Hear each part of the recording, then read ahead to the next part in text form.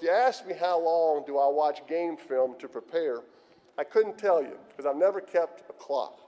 I just watch until I feel ready. I watch and I prepare.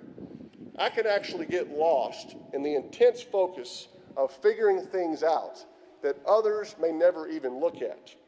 If you really want to be a game changer out there, become a master observer. Just the willingness to stop and look at things that no one else has even bothered to look at enables game changers to identify real points of meaning. The simple process of focusing on things that are normally taken for granted can be a source of great power and creativity.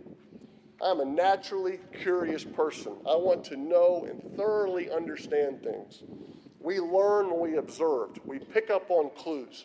We figure things out. That is what preparation is all about.